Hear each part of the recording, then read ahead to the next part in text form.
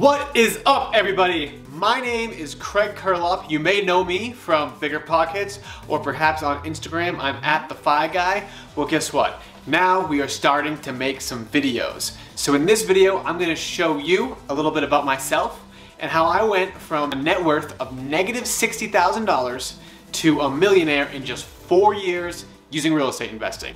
Guys, I am just an average person doing average things and with a little bit of motivation. So if you've got the same type of motivation, then you can absolutely do this too.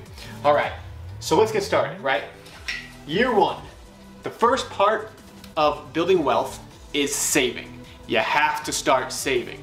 The biggest three things, the ways to save, right, is your housing is like your is likely your largest expense, transportation, and food. That's the average American's three largest expenses. And so, in year one, what did I do?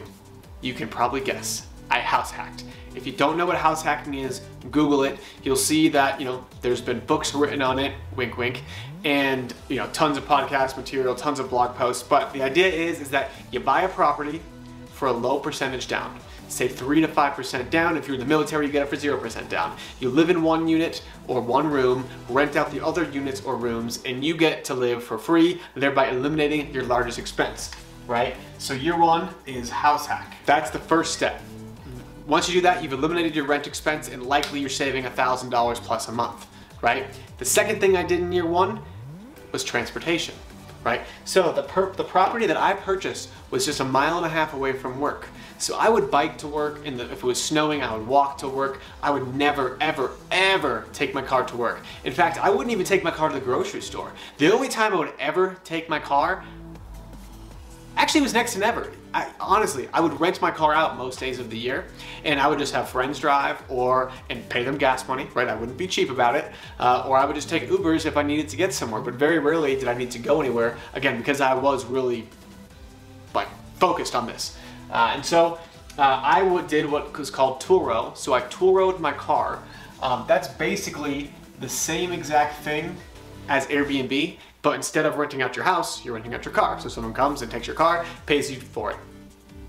Amazing service if you're looking for some passive income. Uh, third thing was food, right? You can't cut your food down to zero. You have to live. You have to live, and in order to live, you need to eat. But you can choose where you get your food from, right? So I would always go to kind of discount healthy grocery stores in my neck of the woods in Denver. Sprouts and Trader Joe's are very good and very and, and pretty cheap. I would spend about 30 to 40 bucks a week on groceries, right? I did intermittent fasting, so I did not eat breakfast, really just lunch and dinner. And I even went as far as becoming a, a vegan for a few, uh, for like six months out of that, saving on meat. And then really, you know, I, I did want to try it for health benefits, not necessarily just money, but either way, uh, still saving tons of money there. So in year one, right, I had bought that house hack. That house hack was making me $1,000 per month. And that includes the money I would have made as if I would have, if, if I would if I were to rent it. Um, Turo was making me an extra $700 a month. On top of the additional let's say $2,000 a month I was saving just from my job. I was making, I mean, I'll tell you, I was making $65,000 a year uh, at Bigger Pockets.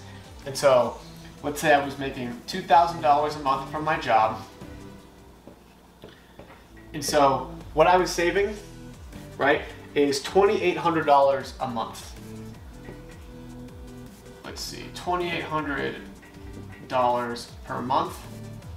What is that a month? Um, $33,600 over the course of one year. Right? So there you have it, right? $33,600 over the course of year number one. Years, 365 days later, from buying house hack number one, I went ahead, bought house hack number two. House hack number two. This one, a little bit different. Uh, single family house, lived in a bedroom, rented out the other rooms. This one actually made me a little bit more than $1,000 per month, believe it or not. It actually made me $1,400 per month. And it kept house hack number one, right? So we've got house hack one, making me the same $1,000 per month. Now I did stop doing Turo, and this is why, is because I started to become a real estate agent. And being a real estate agent helping other people house hack, I did need my car, right? So this went away. However, you know, I'm still saving. At this point, I was still working my job. So my job, and I did actually get a raise because, you know, most times if you do a decent job at your job, you will get a raise. And so now I was saving about $2,500 per month. So here we have it, right? It's 1400 1000 2400 plus 2500 What is that? That's uh, $4,900 a month now, right? I'm saving. And you can see how this kind of gets bigger and bigger as you go, right? 4,900 a month times 12 months is about $58,800 per year that I was saving, right? And again, this is enough for another down payment for another house hack. And you can see how this number gets bigger and bigger. Right, so then, right, year number three, right? We've got house hack number three. As I do more house hacks, I get smarter, right? the more you do something, the more experience you get, you get smarter. So the first time you drove a car, you're probably super nervous, you're driving down the road, you know, you're, you're kind of going like this if you're driving a stick shift, whatever it is. However, same thing happens here, right? As you start doing more deals, you're gonna get smarter. And so on this house hack number three, I'm actually making $1,700 a month. You know, house hack number two, still making me 14. House hack number one is still making me a thousand. And again, I, I have not quite left my job yet, right? And at this point, actually, my real estate agent business is getting so busy that I'm actually not doing that good of a job. So I did not get a raise in year three because my side hustles were taking over my real estate business. And so I'm still saving the same 2500 from my job. And now I've got this thing called a side hustle, right? I've got real estate agent income. When I was working full time, I was making, I was doing about two deals a month. Now, two deals a month in this market, Denver, Colorado, is about an additional 20 grand a month, right? And that's pretty nice, right? Obviously. I think anyone would probably take that. 20 grand a month from real estate. This is side hustle, right? And this is what you get, right? This is what you get for putting in a couple years of hard work, right?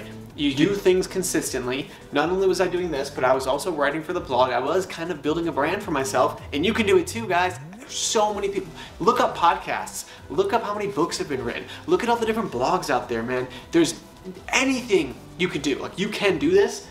And so, right? So because of all that, because of all the work I've put in, I've, I've been able to attract clients to my real estate business, and that was making me $20,000 a month plus all of this income that I was getting. So on a monthly basis here, I'm literally making, because of this new side hustle that I worked for, right? I'm making $26,600 a month, right?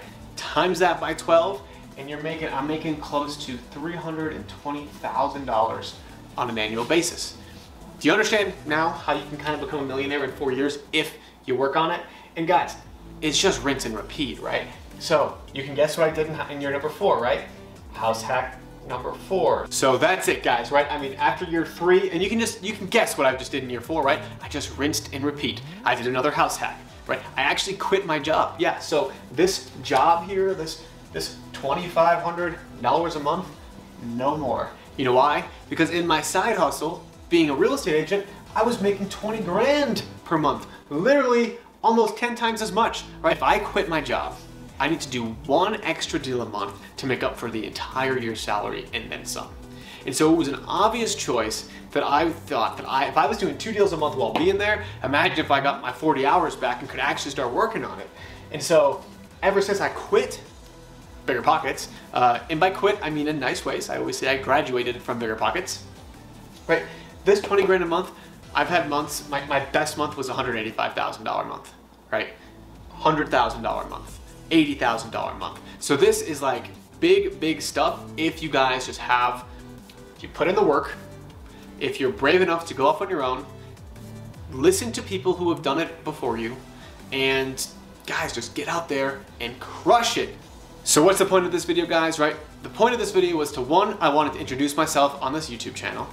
Two, I wanted to illustrate that I started out one year ago as absolutely nobody. I had again, I was $90,000 in student loan debt, just working a W-2 job. I was just like any typical 23, 24 year old guy.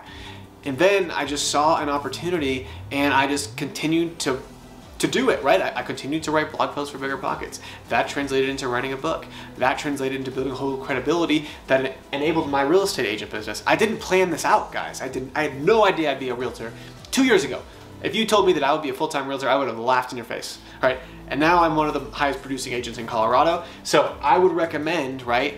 Do the work now. Don't worry about the outcome it will pay off in dividends. So, in obviously, right, I'm I went very aggressive, right? So, millionaire in four years, negative negative thirty thousand dollar net worth, ninety thousand dollars in debt, to a million dollar net worth in four years. I'm sure it is not a viable feat for a lot of people, especially because I recognize that I was a single a single dude that was very young. But if you just follow a similar strategy, if you don't do anything except house hack, just house hack for the next five years, man, you'll get there you will become a millionaire in five to seven years if you house hack every year on the year. And that's a pretty easy thing to do. So with that being said, I hope you enjoyed this video. Please, you know, subscribe to the channel, give us a like, give us a thumbs up, leave what you thought in the comments, and again, feel free to reach out with any questions or concerns. I'm happy to answer. Again, I'm an open book. I literally just opened up my finances to all you guys. So um, let me know if you guys have any questions.